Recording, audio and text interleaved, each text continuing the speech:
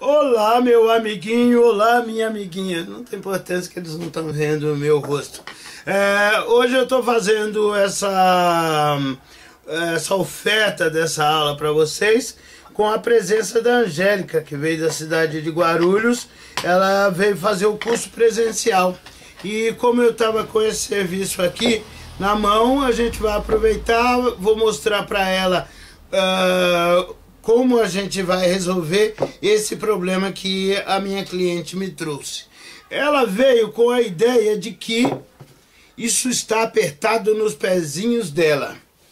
Eu poderia colocar aqui, caso você ainda não, não tenha visto, veja agora a nossa máquina de lacear sapatos. Hum, hum, Aqui.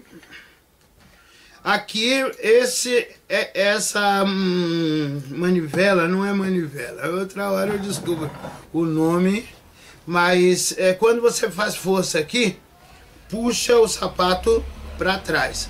Ou seja, o contraforte é laceado. Aqui nesse daqui, você vai lacear a parte da frente. Só que é o seguinte, é, ela precisa um pouco mais do que lacear. Se eu deixasse aqui, é, caso fosse de couro, esse daqui é sintético. Caso fosse de couro e eu deixasse por umas duas horas, umas três horas, ela já sentiria a diferença. Mas o adequado é deixar pelo menos dois dias. Né? Então nós não vamos lacear o sapato nesse método aqui, que é muito fácil, aliás você vai. Tem algumas pessoas que com o sapato de couro, e eu reforço, o sapato de couro é o sapato que realmente laceia nessa máquina. Essa máquina ela custa cerca de 800 reais. Você encontrando por 750, compre porque está fazendo um bom negócio. E ela vai te dar lucro a partir daí. Uh, qual é a ideia aqui? Na verdade, a, o aperto pode ser aqui. Pode ser nos dedinhos aqui. Pode ser aqui também, na região da Dona Joana. Da Dona Joana? Dona Joanete? Hum, que delícia. Quem tem Joanete, sabe... Ah, tem que mostrar direito para vocês, meu povo. Aqui, vamos. Agora deixa eu falar de novo. Como eu estava dizendo, às vezes dói aqui os dedinhos dela às vezes aqui na região da Joanete. Aqui na região da Dona Joana, Dona Joanete, isso dói. E aí o que eu vou fazer é o seguinte, eu disse para ela, eu vou soltar essa tira. Ela me disse, não, mas dói dos dois lados. Agora preste bem atenção nisso que eu vou te mostrar. Você também, Angélica. São duas tiras, perfeito? Só que quando eu tirar essa daqui, eu vou folgar ela para cá. Quando eu folgar ela para cá, não preciso mexer aqui. E isso vai acontecer aqui atrás também. Eu não vou precisar mexer nessa daqui, porque eu já vou mexer nessa. E eu não vou mexer nessa parte aqui, porque eu já vou mexer nessa. E a Angélica tá olhando ali com uma cara de quem quer saber. E por que essa daqui e não essa daqui? É, essa daqui porque eu vou tirar aqui dentro, nessa parte interna, uma parte que quase não aparece, essa parte aparece bastante. Eu vou tirar aqui nessa que quase não aparece. Aí para ficar mais fácil de escolar, vou dar uma aquecida. Tem o pessoal aí que está assistindo que, ai, por que, que ele não acelera? Por que, que ele fica falando? Gente, acelera você aí, tá?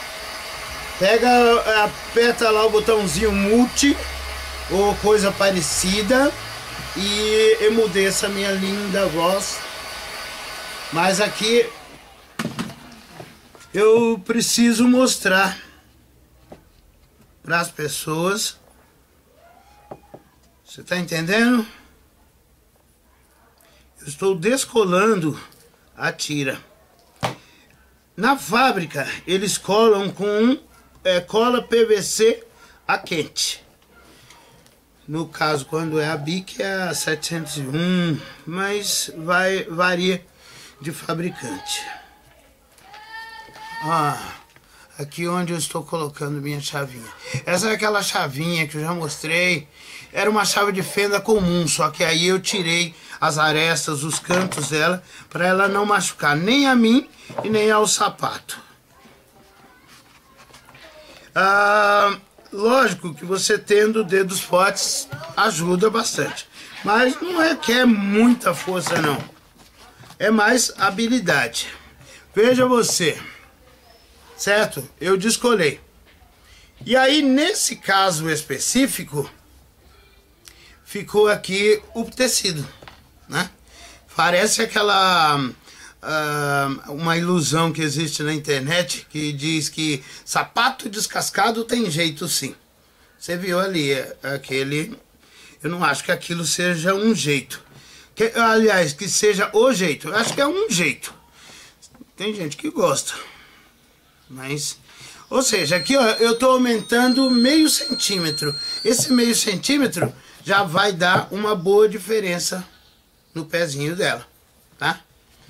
Só um momento a gente volta para não ficar mostrando como a mesma coisa desse daqui.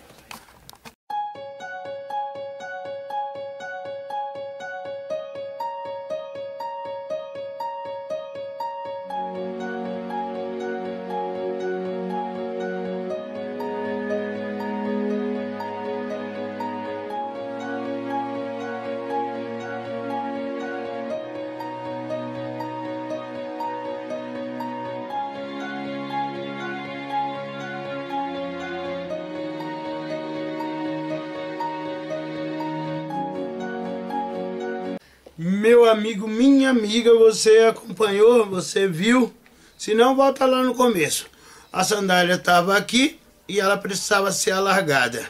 Eu soltei esse lado de cá, só essa, essa tira desse lado. O, o telefone está tocando, eu já volto. E como eu estava te falando, antes do telefone tocar, aliás, foi ótimo o telefone tocar, porque geralmente significa serviço para a nossa sapataria ou, quem sabe, para o nosso curso. Veja você, eu, eu peguei um pedaço de couro. Por acaso esse daqui é até diferente um pouco do sintético da sandália. Um pedaço como esse, a Angélica disse que ela mesmo jogaria fora. Coloquei você no, no rolo, você viu? Mas o que, que a gente faz com um pedaço desse? Aqui, deixa eu só me certificar, porque tem coisas que eu faço, com o passar do tempo, a gente faz no olhômetro. Não é a mesma coisa da colinha da discórdia. Eu, quando digo que a colinha da discórdia, ela cola sapato, aliás, a gente vai usar ela aqui. Quando eu digo que ela cola sapato, que ela cola couro, ela cola mesmo que eu não poderia ficar mentindo para as pessoas. Não haveria, eu não tenho necessidade disso. Ninguém precisa ficar mentindo. Eu não estou dizendo com isso que quem não acredita no que eu digo esteja mentindo. Só digo que é. Agora está mais comprido. Por quê? Porque aí, ó, eu vou deixar. Tá vendo? Essa parte aqui foi a parte tirada de dentro do sapato. E aí eu vou colocar um pouco mais. Lógico que aqui eu vou prender, provavelmente com cola. Hum, aqui eu tô só estreitando a largura da, da tirinha, que como eu disse, fazendo no olhômetro. Aqui primeiro, deixa eu dar uma olhada aqui, ó, se tem espaço para colocar, tá vendo? Aqui de outro lado até. É, tirar para fazer isso. Aqui, ó.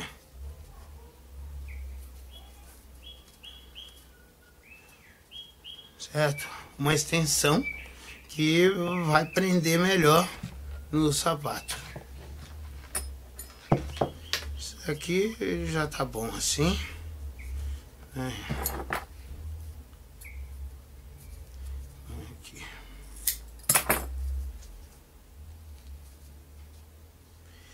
Certo? Com o passar do tempo, você até faz no olhômetro, mas o adequado... Angélica, pega essa régua aí, por favor. Isso aqui? Ah, ah, não, aqui, ó. Uma, a menor, a menor, a menor, cuidado. Isto.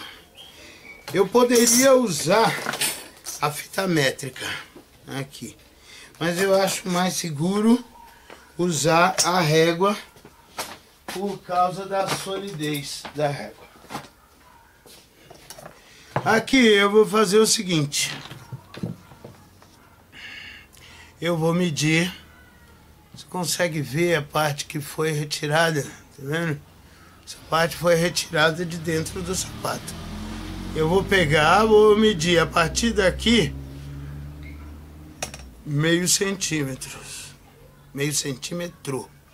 Geralmente eu faço, como eu já disse umas duas vezes, no olhômetro. Porque você acaba é, desenvolvendo o chamado golpe de vista. Você consegue saber aqui mais ou menos o que você quer. Só um momento a gente vai colar.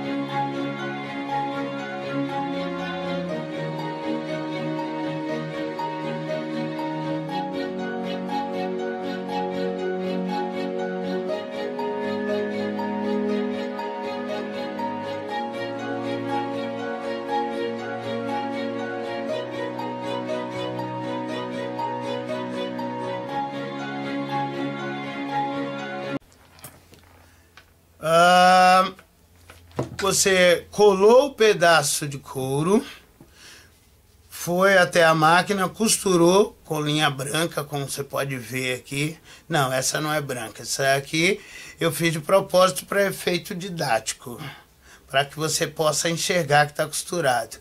A Angélica está olhando ali, ela sabe que é mentira, mas não, é verdade. Aqui, ó. Você vai encaixar até o risco que a gente fez de caneta. E vai deixar meio centímetro mais largo o sapatinho. Daqui a pouco a gente volta.